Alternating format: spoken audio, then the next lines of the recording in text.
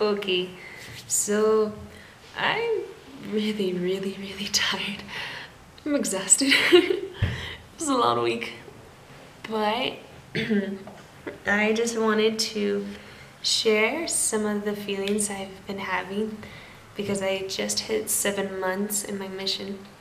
And I wanted to share a little bit of what I've learned in these seven months I've had here in Guatemala. Um, Guess I can just start with I love my mission. I love my mission. There are days where I'm just looking out over the these giant hills and all these mangoes everywhere and these colorful clothing and everything. People talking in Spanish and I don't want to leave. I don't want to leave. This sounds really weird. I don't want to leave. And that's a good thing because I, I like a lot of time. It's okay. It's okay. But I feel like it's to go really, really fast in the same time. Um, I've had four areas. Um, my first area was in Monteverde, um, in Utetlan. And I was born there with my mom, Mara Guevara, from Texas.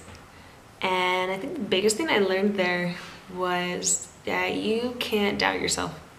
You can never doubt yourself on the mission. Like, don't be, you know, egotistical. Is that a word? I don't know. Um, obviously, but see, like, how do you say that in English? Follow the spirit. I can't talk in English. This is terrible.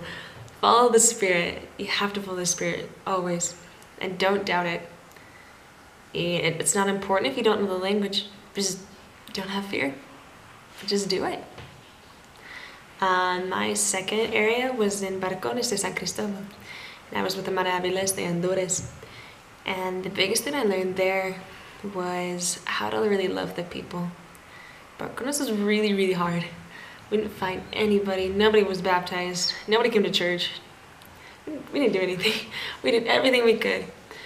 But I had some of the most sacred experiences there that I will never ever forget. Um, they're really, really sacred. And I, because of Balcones, I know for a fact that God lives. And I know He guides His work. Um, my third area was Montemaria, with Hermana Hernandez de Honduras. All my companions are from Honduras. The yeah, that was my favorite area. I loved Montemaria. There were so many people there that I loved so much. And when they told me I was having I was having changes, I cried so much because I didn't want to leave.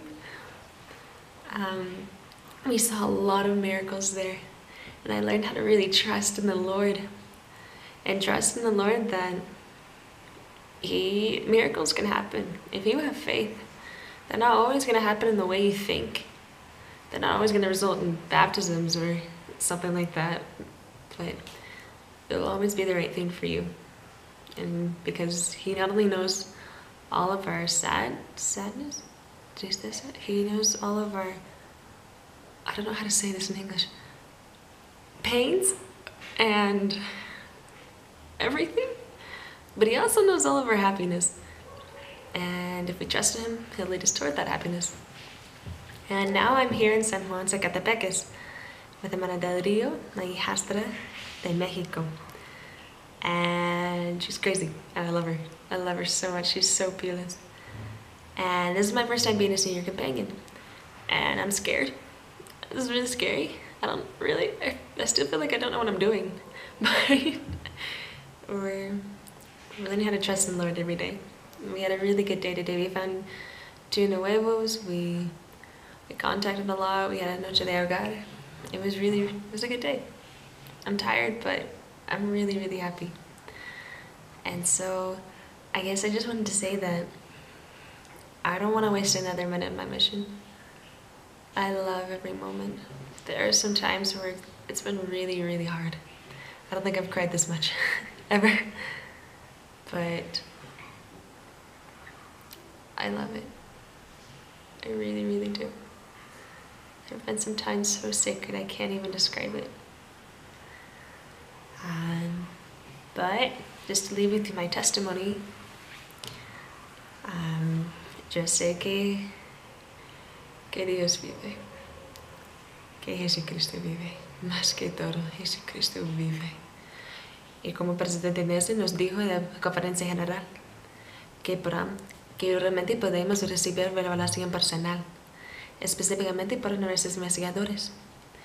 Y también al mismo tiempo, podemos recibir revelación personal para nosotros mismos. Y yo sé que Dios está en carga de su obra. en cada momento, si estamos dignos, de, dignos del Espíritu Santo, el Espíritu Santo va a guiarnos. ¿A quién necesitamos visitar? ¿A quién, a quién necesitamos enseñar?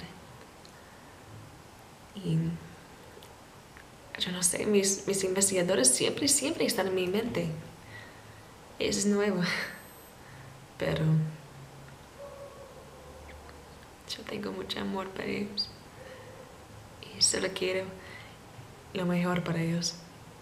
Y todavía mi experiencia no es perfecto. Todavía a mí me falta mucho en el Espíritu Santo.